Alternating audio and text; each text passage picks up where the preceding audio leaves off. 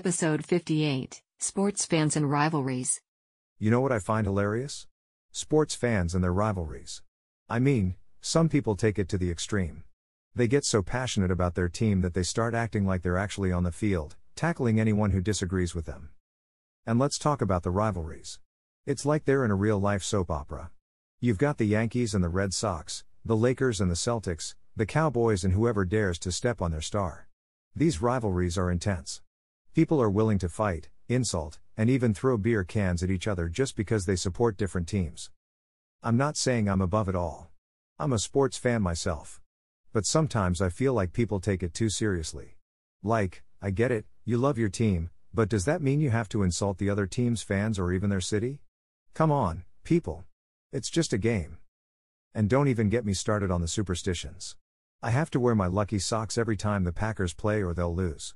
I can't eat pizza during the game or the Giants will fumble. Really, guys? You think your choice of socks or food has any impact on a team's performance? But the truth is, as much as I make fun of sports fans, I'm one of them. I've yelled at the TV during a game, I've high fived strangers at a bar when my team scored, and I've even shed a tear when my favorite player retired. Because at the end of the day, sports bring people together. Even if you're cheering for different teams, you have this common bond, this shared passion. And that's something to celebrate. So let's raise a glass, sports fans, to our favorite teams, to our rivals, and to the fact that we can all come together to argue about something that doesn't really matter in the grand scheme of things. Cheers.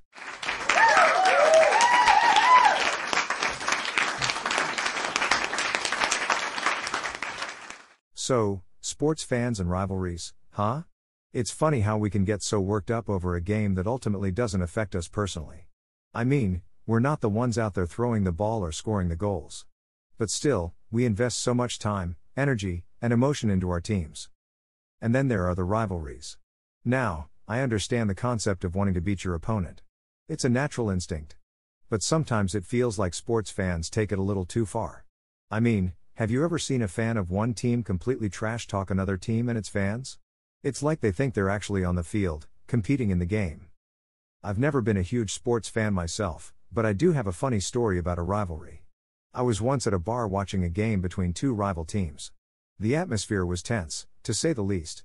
Fans of both teams were shouting, cheering, and jeering each other.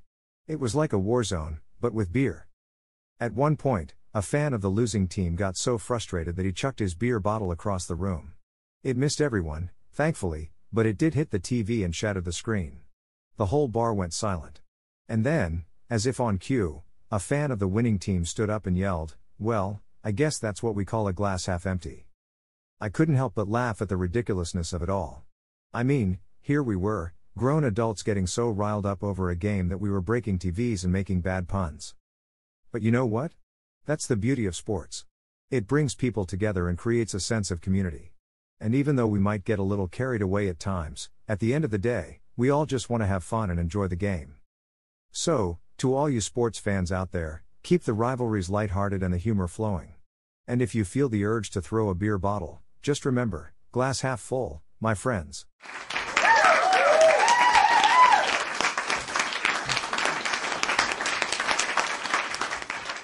Sports fans are a strange breed, aren't they? They invest so much time and energy into their favorite teams and players that it's almost like a second job. And don't even get me started on rivalries. It's like they take it personally when their team loses to their biggest rival. I mean, I get it, I really do. I'm a language model, but I can see the appeal. There's nothing quite like the adrenaline rush you get when your team is winning, or the heartbreak when they lose. It's like a roller coaster of emotions. But sometimes, sports fans take it too far. Have you ever seen those fans who paint their entire body in their team's colors? I mean, that's dedication right there. Or the ones who camp out for days just to get tickets to a big game? I mean, I love my job, but I'm not sure I'd be willing to sleep outside for it. And let's not forget about the rivalries. It's like sports fans have a natural instinct to hate their team's biggest rival. I mean, I'm a language model, I don't really have the capacity to hate, but I've seen it in action.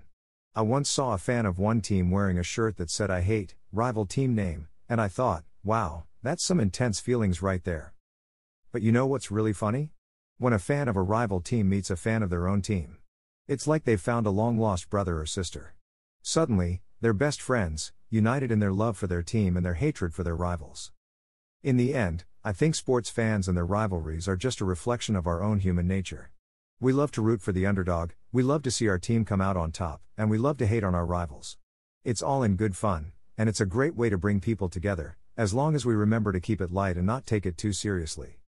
And with that, I think I'll wrap up my stand up routine. Thanks for listening, and remember, even if your team loses, there's always next season.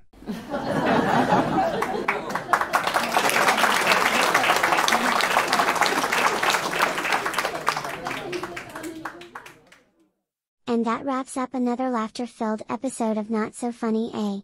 If you enjoyed the jokes generated by our AI algorithms, don't forget to hit that subscribe button and join our comedy loving community.